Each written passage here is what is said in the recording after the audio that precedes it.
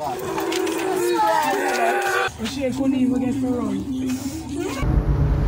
year one here live, Chop City. This year one here live.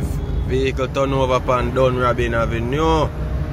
Dunrobin Avenue, this is a chat foolishness. Boulevard. Welcome. If you're new via here, be sure to click the subscribe button and also click the bell icon so that you'll be notified about videos uploaded from this channel. The topics that we'll be discussing today police inspector found dead in Manchester, Chippy killed at party, and more. It has been reported that a man who goes by the name of Chippy was shot and killed at an illegal party in St. Ann with a female. Now, people, a lot of different stories really surround this incident. I see a lot of people on social media say it is because somebody stepped on him clocks in at the party and one altercation developed over that. Next set of people say he is involved in some criminal activities. Bear in mind, none of this information has not yet been confirmed by the police nor a family member. So we're really not sure what is the reason behind the attack, but as old people always say, if in a go so, in near go so. So just for clear the air or for the ones that were confused, two persons was shot and killed at an illegal party in St. Ann. The guy who goes by the name of Chippy and another female. To me, the two of them look like them in them early twenties. But me still I wonder when the people them gonna learn say them for stay at them yard. The party no have no permit, turn your yard. If you involve in a, any criminal activities, turn on yard. If you no family member involved, stay home. But tired for tell you if them can't catch Guaco, them will get you shot. And if you are their rival and them can't catch you in at the party, nobody feel like such a whole of people dead, them not gonna turn up. Wanna stay on the yard. Stop put other people life in danger. If a clothes you want to put on so bad, wanna put it on on the yard. If you want to drink little liquor, wanna send to the nearest corner shop, go buy them or the nearest wholesale, carry it home, wanna have a flask. It's just that simple. I wouldn't give on the three points some of the time and think a joke thing over here saying you know, when the bullet catch you in the wrong place, there is no turning back. We don't just keep that upstairs and on the head. And if them well want to know, then we come on the yard too, you know, cause you have some crazy ones out there. But at least innocent people won't get hurt. So viewers and subscribers, I have a quick update on a story I did yesterday about a 26 year old Rashid Myers. He is 30 years old. He is from Spanish Town, St. Catherine. He was shot and killed in Banana Lane, Lakes Pen, Spanish Town on Sunday, December 26, about 11:53 a.m. As said earlier, this is just an update because I have now received the video.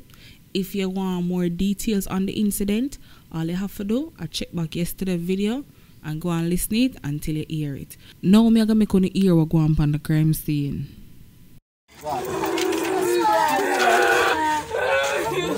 Happy night, man. Happy night. I'm frightened. You know when restaurants have been me. I'm frightened. She couldn't even get for run. What should I do run, To all the lady in the background attack, it seems as if some war going in the area, or she knows something when nobody no know. You hear what she say? Why am I around the lane? That not sound too right. But viewers and subscribers, the video is available. If you are interested in seeing the unedited version of the video, wanna follow the usual procedure go down in the description where you will see a link to the Chop City Telegram group. Just click on the link. You'll automatically join the group and the video will be there waiting on you. If you don't know how to go down in the description and you're interested in seeing it, just run on over to our Instagram page at Chop City TV. That is C H O P C I T Y underscore TV. Ensure say you follow the page. Then you send us a message asking for the link and it will be provided to you as soon as possible moving right along. The occupants of a two vehicle crash on Washington Boulevard in St. Andrew has been rushed to the hospital. It is unclear what caused the collision. The condition of those hospitalized is currently unknown at this time. This year one here live, Chop City. This year one here live. Vehicle turn over upon Dunrobin Avenue. Dunrobin Avenue, this is a chat foolishness. Boulevard, turn over. Uh, I do man, watch a go on Chop City, watch man. Go on around Chop City. So when you're live, watch them man. Watch there, that mash up. I know if you see on but everything mash up. Don't this happen here. Not Again, if you're interested in seeing the full unedited version of this video, all you have to do, down in the description where you will see the link to the Chop City Telegram group. Just click on the link, you automatically join the group, and the video will be there waiting on you.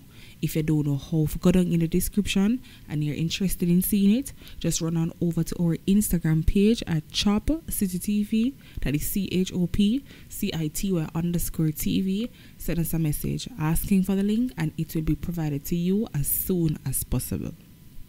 Police say they are awaiting an autopsy report to determine the cause of death after a retired police inspector decomposing body was found on Monday at his home in Manchester. He has been identified as 59 year old Raymond Palmer. Head of the Manchester police told our news team that Palmer's neighbors alerted the police after smelling a foul odor coming from his house. Further information suggested that Palmer reportedly lived alone. The police said they do not suspect any foul play at this early stage in the investigation. One man has been charged following the seizure of a firearm and several rounds of ammunition on 9th Street in Trenchtown on Monday, December 27.